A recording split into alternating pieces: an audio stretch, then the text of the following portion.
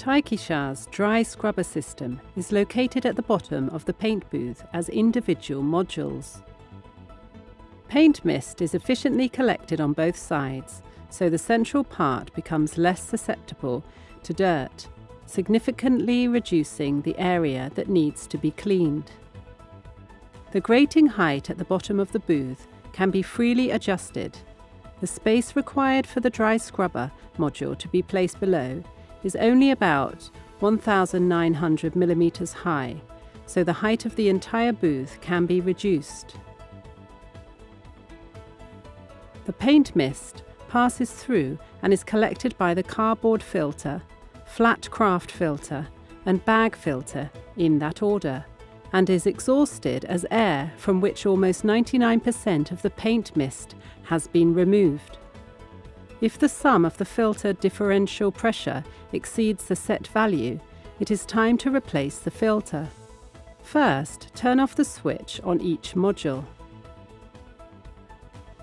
When the switch is turned off, the air volume control damper on the secondary side of the module closes automatically. Next, close the shutter.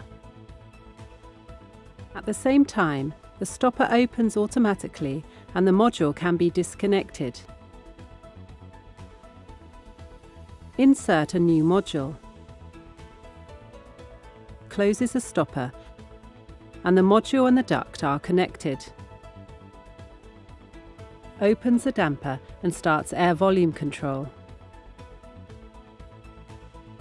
Move the module to be discarded to the filter replacement area. Using a rotating lifter, filter replacement can be done quickly and easily. From the middle of the module, pull out the kraft filter on the second stage, discard the dirty filter and install a new one.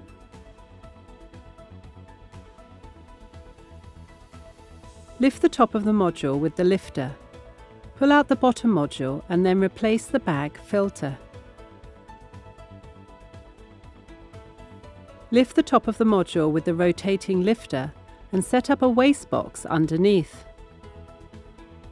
Rotate the top of the lifted module and drop the cardboard filter into the waste box and collect it.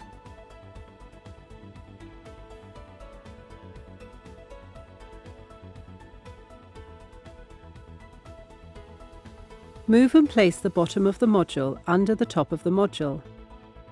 Connect with the top of the module.